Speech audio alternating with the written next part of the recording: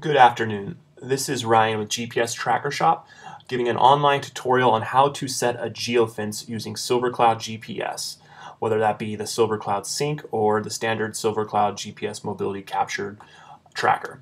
So now we've already logged into our online interface using our username and passcode and we can see our vehicles on the map. So what we want to do now is set, set up a safe zone to be alerted if these vehicles leave a particular area.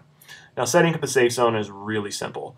On the upper left hand side you'll see a circle with a triangle icon. All you have to do is click on that and it'll bring up some additional options. In these options you will see Silver Cloud alerts. Uh, once you move your mouse over that, a side menu will kick out and click on geofence alerts. Now all we have to do is select the option for draw new geofence and we should get a giant red circle right here which sets up our perimeters. Uh, if we want to move this, we can just click right in the middle of the geofence and hold our mouse and we can drag it and move it. If we want to make it bigger, we just click on one of these little white dots on the outside of the circle, click it and hold it and move it out, or click it and move it in. Just depends on the size that we want to make that particular geofence. So now, if a vehicle enters or exits this virtual boundary that we created, we can receive notifications via email or text message.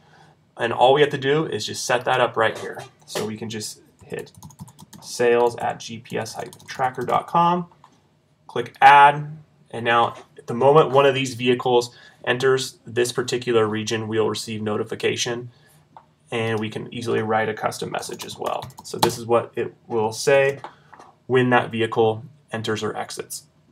Once again, this is Ryan with GPS Tracker Shop. If you have any additional questions regarding a real-time tracking software or our real-time tracking devices, feel free to give us a call at any point in time.